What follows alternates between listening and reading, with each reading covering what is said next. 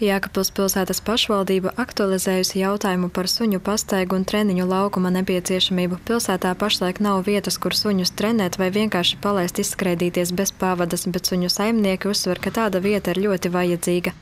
Ne katram cilvēkam ir pieejams pagalms mājās un nav iespējas izteidzināt suņus Tāpēc ir, ir vajadzīga šāda laukuma. Viennozīmīgi esmu tikai par to, ka tāds laukums ir vajadzīgs, kur iziet kaut vai pastaigāt. Nu, bet e, uzreiz pasaku to, ka vismaz ārzemēs ir tā, ka, ja ar suņiem staigā, tad aiz viņiem savāc. Vai arī šeit savāks kāds. Tātad, ja, ja ir laukums, noteikti jābūt noteikumiem, ka kāds savācais savu sunīšu.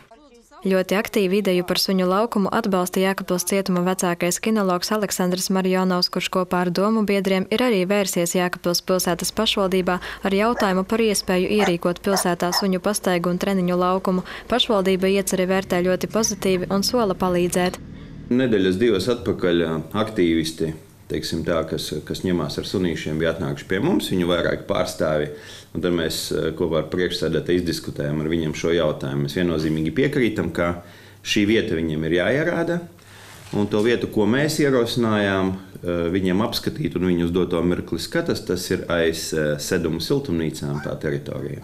Pašvaldība attiecīgi viņiem šajā, šajā momentā piedāvā to vietu, pašvaldība piedāvā viņiem nopļaut zālienu, ierīkot kaut kādus nelielus labiekārtošanas darb, darbiņus, kā soliņus un tam līdzīgu. Ja? Un, un attiecīgi, ja šī biedrība, kas izveidosies kā biedrība, šī biedrība varēs startēt pašvaldības iepir, konkursos, kā citas biedrības startē un attīstīt šo ieceru.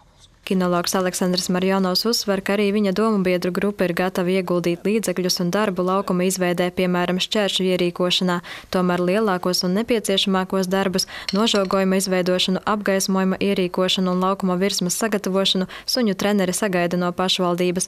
Laukums ir iecerēts gan suņu treniņiem, gan vienkārši kā vieta, kur saimnieks var pavadīt laiku kopā ar savu suni, ļaujot dzīvniekam izskrieties un pierast pie citiem suņiem. Kinologi uzsver, ka laukums arī palīdzētu mazināt suņu agresiju un nervozitāti un ļaut uzlabot suņu uzvedību.